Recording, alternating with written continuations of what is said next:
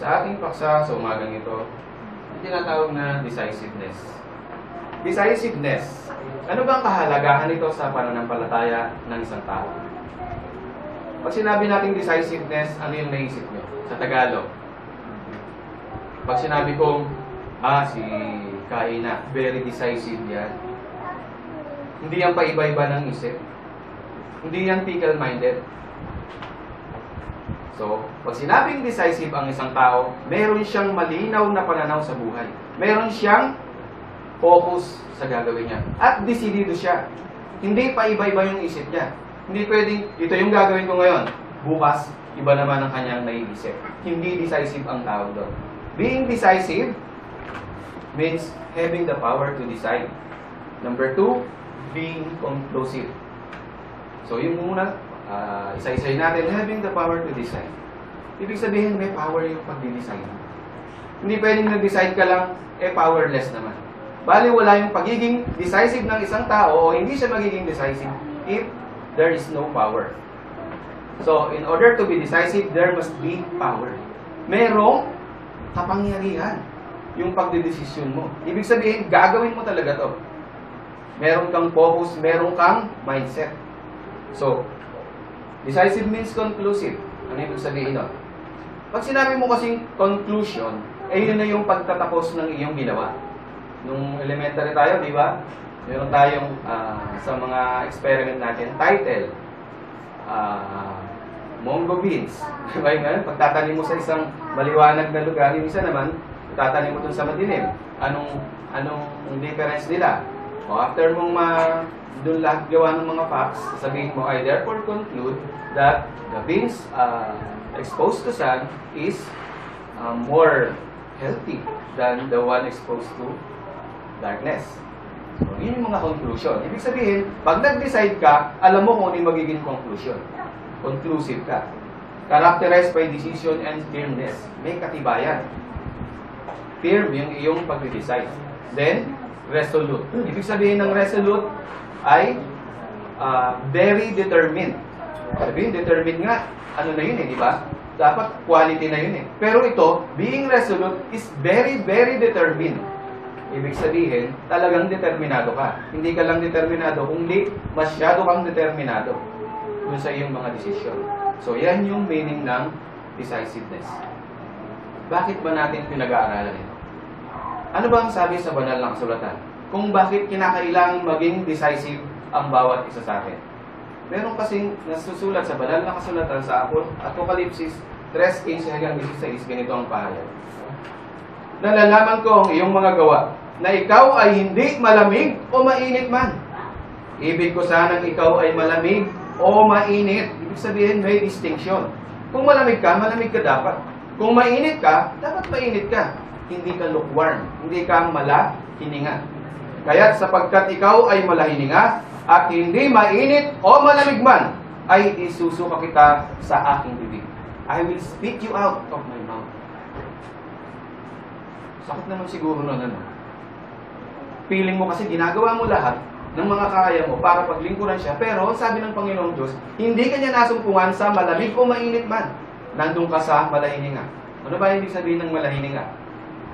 Sabi kanina, yung pag-aaral natin, napakaganda sa Galatians 6 yung tayo magsigawa ng mabuti sa lahat ng mga tao, lalong-lalo na sa mga kasambahay sa pananampalataya.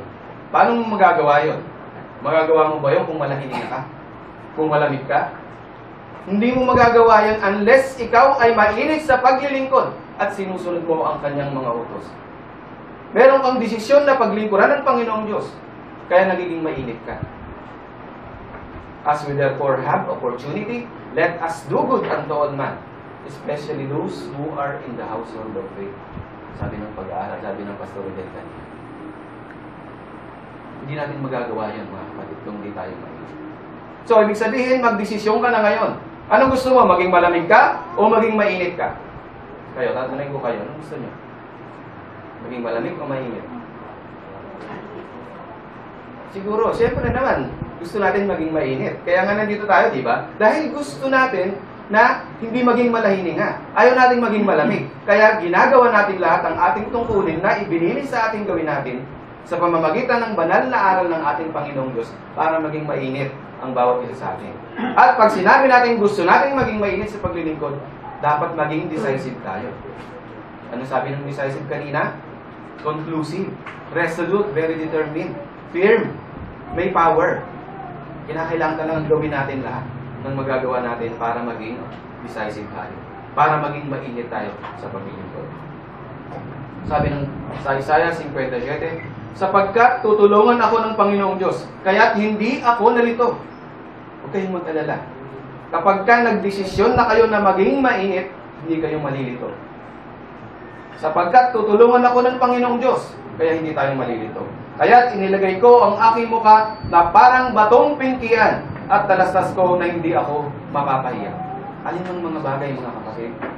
Nandiyan ang Panginoong Diyos. Minsan nahihiya tayo, pero hindi natin sinusubukan kasi eh. Nagawin lahat ng bagay. Kung minsan, ayaw natin yung gawin yung isang bagay dahil natatakot tayo. Dahil makapapahiya tayo. O hindi natin ginagawa yung isang bagay kasi nalilito tayo. Pagka ganun may kalituhan ng isang tao, meron ba siyang desisyon? Kapatid na? Wala. Kasi hindi siya makapag-desisyon. Dahil nalilito siya. Pero ang sabi ng Panginoong Diyos, hindi ka malilito at kailanman ay hindi ka mapapahiya. Kaya dapat lamang meron tayong desisyon. Yung plano natin matibay. Dahil andon ang suporta ng Panginoong Diyos sa lahat ng ating mga ginagawang mga paglilingkod sa Kanya. Sa Josue 24.15 ang sabi, At kung inaakala ninyong masama na maglingkod sa Panginoon, ito, itong talatang ito ay binibigyan na tayo talaga ng ah, pagkakataon para mag-decide sa sarili natin. Anong sabi ng banal na kasalatan? Ulitin natin.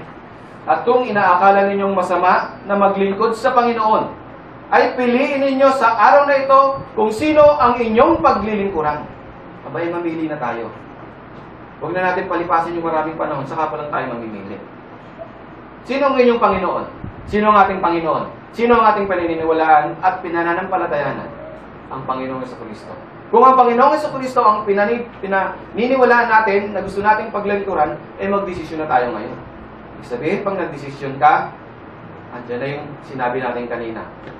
Maglilingkod ako sa Panginoon, dapat may power yan. Maglilingkod ako sa Panginoon, hindi ako matitisod, firm. Dapat yung pagdesisyon mo. Maglilingkod ako sa Panginoon, ano man ang mangyari, determined ka, resolute ka. Hanggang sa marating mo, yung kasutulan ng pananampalataya. Tuloy natin ang talata. Kung ang mga Diyos ah, ay piliin ninyo sa araw na ito kung sino ang inyong paglilingkuran. Kung ang mga Diyos ng inyong mga magulang na pinaglilingkuran sa dako ng, mga ilog. O ang Diyos sa mga Amoreo na ang lupain nila ay inyong tinatahanan. Ngunit sa ganang akin at ang aking sangbahayan ay maglilingkod kami sa Panginoon. Si Josue ay very decisive. Kahit yung kanilang mga kasamahan, ito kasi yung panahon na, kilala niyo ba si Josue? Sorry po. Si Josue, noong panahong naglalakbay sila na sa pangunguna ni Moises, eh, naglalakbay sila patungo dun sa lupang pangako. So, nung malapit na sila, nagsugo siya ng labing isang mga spy. Ah, or tawag dun sa sa termino dun sa banal na kasulatan, tik-tik. Sabihin tik-tik, tik-tik nila yung ah, yung bayan kasi ng Kanaan, yun yung lupang pangako. Titingnan nila kung anong kalagayan nun. Yung lupa na yun, kung talaga bang fruitful doon, kung sino ba yung naninirahan doon, at kung talaga bang suwak sila na mamuhay doon sa lugar na. Ibig Sabihin, ah, kung talaga bang may possibility na doon sila manirahan. So, nung bumalik yung labing isa, walo ay merong negative reaction, no? may negative report. Alam niyo bang si Usue, tsaka yung dalawang kasama niya, si Caleb, tsaka yung isang di ko wala, sabi nila, mabuti pala talaga doon sa lupain yun. At ah, dapat lang tayong tumira doon.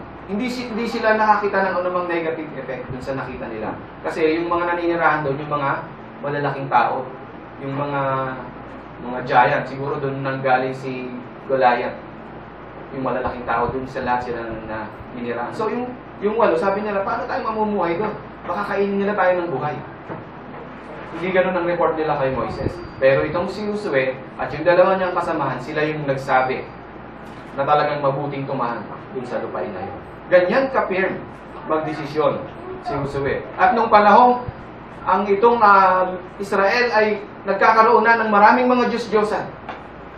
At kung sino-sino na yung kanilang sinasamba. Ang sabi niya, sige, magsisamba kayo sa mga Diyos niyo kung doon sa mga ilog na mga Diyos ng inyong mga magulang. At kung ano man yung mga Diyos na inanyuan, sambahin niyo sila. Pero ako at ang aking sambayan ay sasamba sa Panginoon.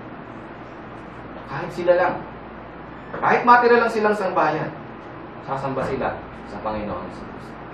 Sabihin, ganun ka, decisive. Itong si Josue. Meron pa ba kayong mga kilalang dapat nating maging modelo sa pagdesisyon sa buhay? Sa Hebreo, kilala niya naman siguro si Moises. Sabi, sa pananampalataya, nang lumaki na si Moises, ay tumangging siyang tawaging anak na babae ni Paraon. Na pinili pa ang siyang na pinili pa ang siya'y tampalasanin na kasama ng bayan ng Diyos. Kaysa magtamo ng nagsisikupas na kaligayahan sa pagkakasala. Alam niyo ba yung story ni Moises? Siyempre, alam niyo naman yun. Papanood niyo yung Ten Commandments.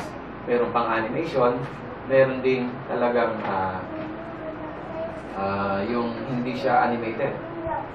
So, si Moises kasi, nung kinalakihan niya sa, nakakala niya siya ay isang Egyptian. Pero, dumating yung pagkakataon na nalaman niya yung katotohanan at kinakailangan niyang mamili.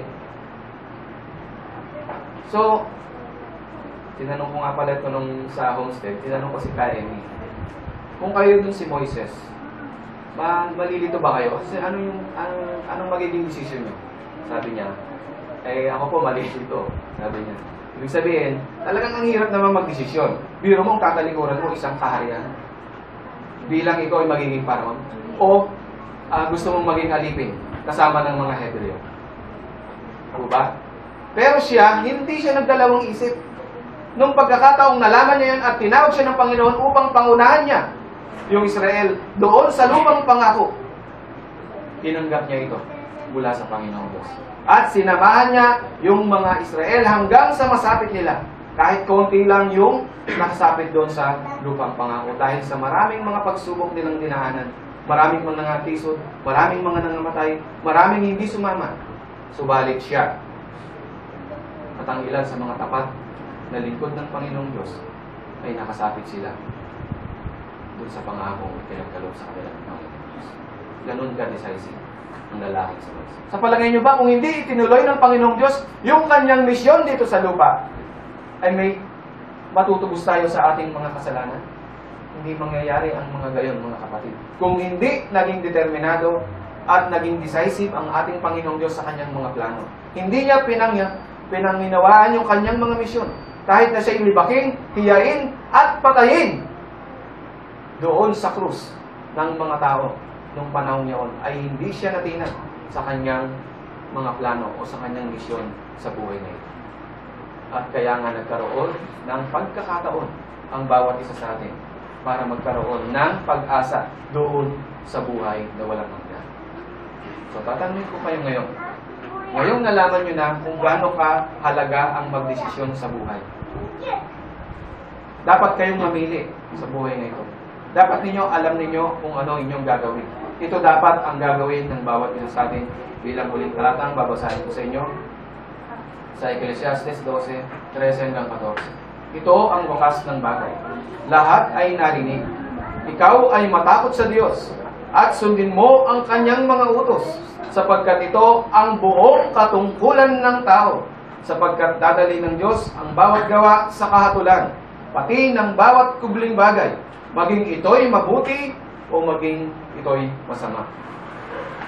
So, ito na. Magdesisyon na tayo, mga kapatid. Ito na yung wakas ng bagay daw.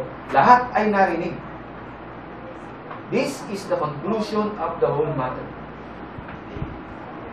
Let us fear God and keep His commandment, for this is the whole duty of man.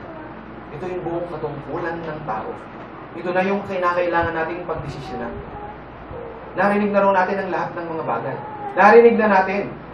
Ito yung lahat ng mga bagay na dapat natin gawin. Ano yun? Ito ang buong, ah, na ating sundin ang kanyang mga utos sapagkat ito ang buong katutuluan ng tao. So magdesisyon na tayo ngayon. Susundin ba natin ang utos ng Panginoong Diyos o hindi? Kung hindi natin susundin, mapapahamak tayo. Okay? Pero kung susundin natin, maging decisive tayo. Gawin natin ang lahat ng ating magagawa, maging determinado tayo. Here, may power yung ating pagsunod sa ating Panginoong Diyos. Ano man yung mga gawin natin, gawin natin itong matibay at merong maliwanag na pag-iisip sa kinabukasan. Hindi natin nakikita ang mga madilim na bahagi ng buhay na ito. Kundi ang nakikita natin ay yung kaliwanagan, yung kaluwalhatiang makakamit natin pag tayo'y nagkamit ng buhay na walang hanggan. Magandang umaga po sa inyo at tayo po tumayo.